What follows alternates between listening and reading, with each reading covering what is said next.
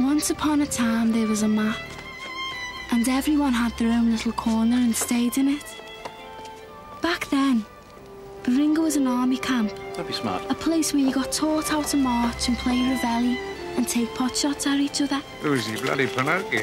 Then after we shot at everyone we could think of, we let in a straggly bunch of leftovers who talk funny. This is their story. Nino, if you're gonna stay here, you gotta learn to speak English. It's very simple. I learned perfect in one afternoon. Good English is a science, it's an art.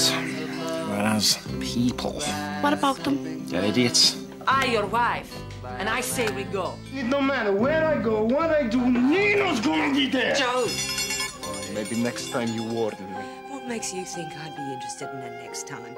Australia is a country of sweeping plains, mountain ranges, drought. She's wide, she's brown, she's bloody beauteous.